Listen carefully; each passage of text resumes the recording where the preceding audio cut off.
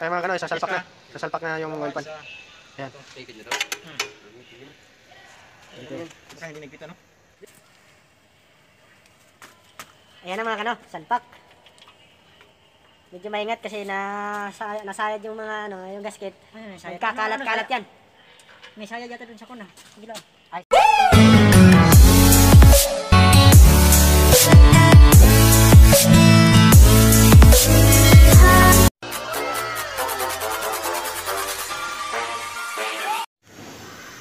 Yo! Aya, welcome back mga kano. Ayun. Ano tayo ngayon? Magre-resealing. Ito. Kasama. Ayan. Nilinisan mo na. Siyempre, resealing nga. Naligo ng ano yun langis. Tagas. Tagas mga kano. Ito, papakita ko sa inyo. Alright.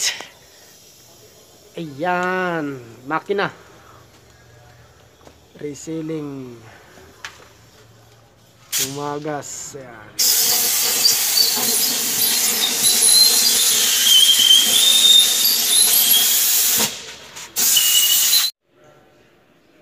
yo ayun mga kano. Titingnan natin yung ah, customers concern. Ayan.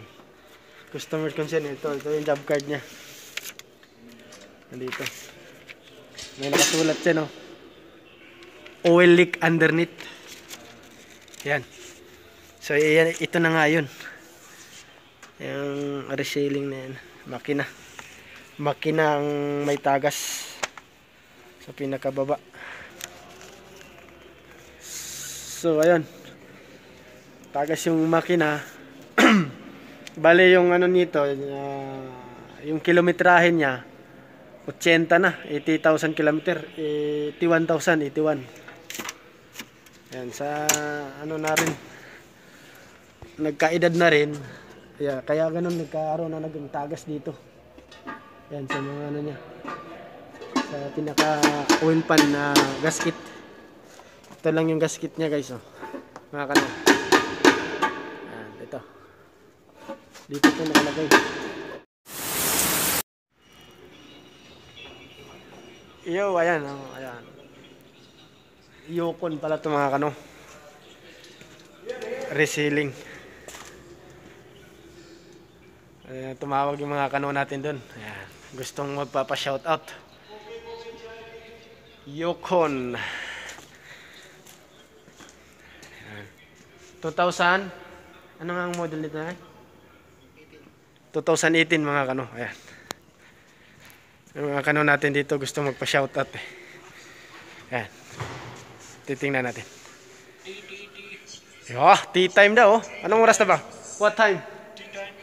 Oh, tea time na. Break time pala sa kanila. Oh. Lupit. Relax, relax lang muna. Siyempre, ganyan na lang buhay. Walang trabaho eh. Bakante. Yan oh. Tingnan mo yung workshop. Napakaluwag. Yan. Hmm. Nagkalat yung mga pyesa dyan sa sahig na. Ayan. Ayan mga kano, makina. Ay, naayos yung makina. Bale yung ano yan, yung sasakyan na yan nandun. Ayan o. Ito, ito, ito. Yung itim na yan. Yan yun. May kulang pa na pyesa, kaya tingga mo na. Ayan, workshop tour. Ano? Marumi. Hindi nalinisan. Tawagin natin tagalinis. Mamaya-maya yung kano natin sa doon nag papakita ko sa inyo kung anong nilagay niya doon. Gasket. Gasket yun. Silicone lang. Okay. Right. Ayan di ano to mga kano? Ito yung pinaka wheel pan. Bali ito yung konektado sa ano strainer to. Papunta sa bomba sa taas. Sa taas ng makina. Bali may o-ring dito o-ring. Dito din may o-ring. Galing naman to sa filter. Dalawang o-ring. Ito yung mga kano yung o-ring dyan. Yan. Salpak yun dyan oh. yan nakaganyan. Tapos yung doon naman ito dalawa. Itong dalawa yan. Doon yan. Ito yung luma mga kano. Alright.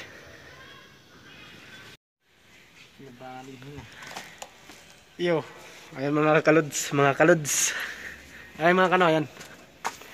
Yung sinasabi ko doon kanina na yung strainer sa baba, yung sa oil pan, ito yung sinasabi ko na bomba. Bomba ng langis. Pinaka tawag doon, oil pan. Oil pump. Ayan. Ito. Itong assembly na to. Ayan. Yan yung nagpapanik ng langis mula sa oil pan papunta doon sa ah, taas ng makina. Kailangan niya yung siya yung nagbibigay ng mga supply doon sa mga dapat ilolubricant, ilolubricate. Yan. Ginagawa mo! Lubricate pala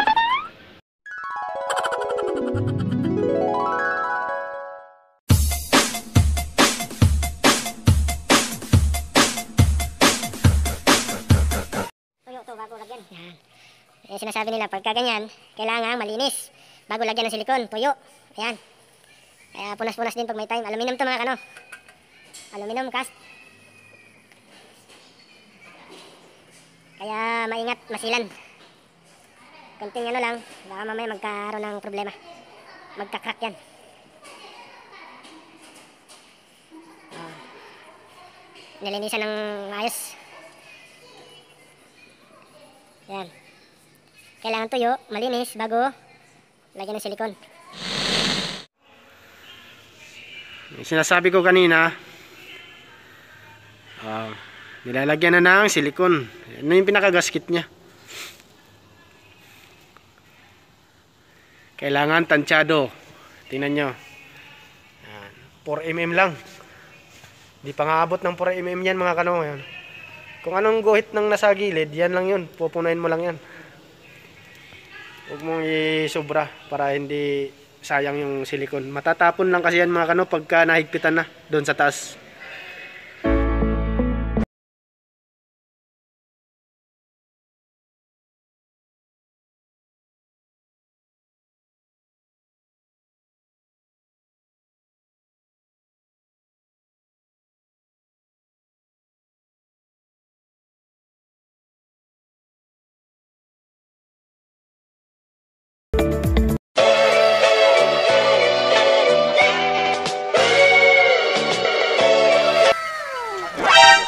Mga kano, sasalpak na.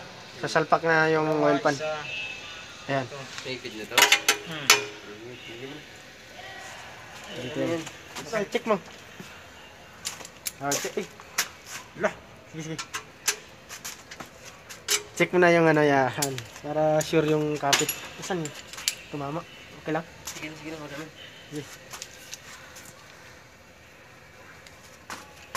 Ayan na mga kano, salpak. Medyo maingat kasi na nasayad yung mga ano, yung gasket. Ay, may sayad. Nagkakalat-kalat yan. May sayad yata dun sa kuna. Sige lang. Ayos lang. Ayos lang.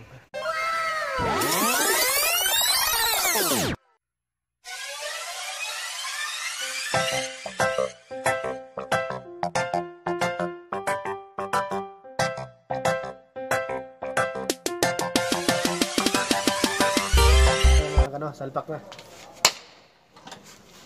Tingnan natin. Ayan. Okay na. Bale, ito na lang yung oil cooler. Oil cooler dito. Nakakabit dito sa kabila. Dito tan. Ya, ya, ya, ya. Yan. Yan Dito. Ito yung filter niya. Yung oil cooler na yan, may gasket yan mga kano. Ito. Ito yung gasket dun. Nakalagay.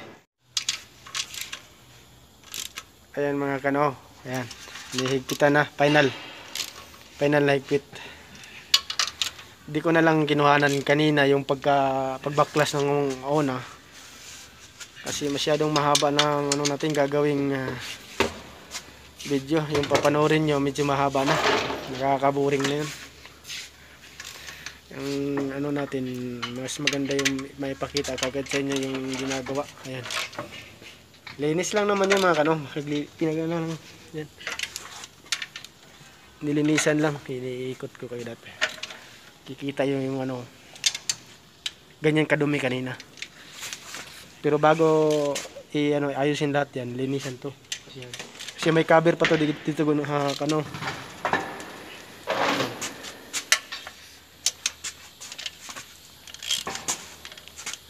Final, final na higpit.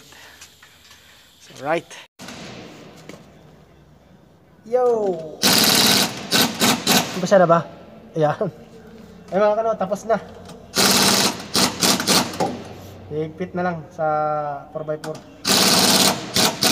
Pinaka-differential niya. Yan. Okay na lahat. Kapitan ng filter.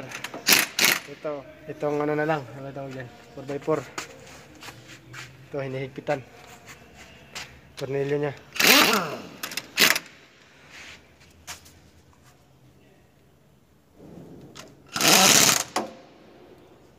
Ayan. Kasi nilinisan na lang konti to dito banda. Ayan.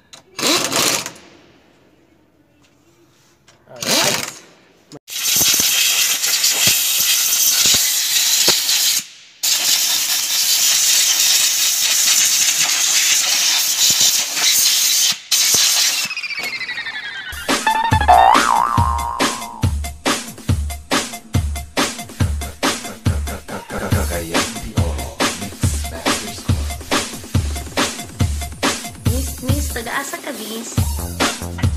Ayan. Steering rack.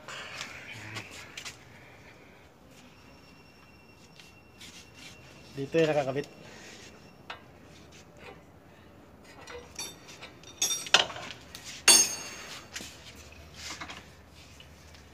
Kanina itong ano, ito to, 4x4. Tapos ngayon ito naman. Yan, hihigpitan na.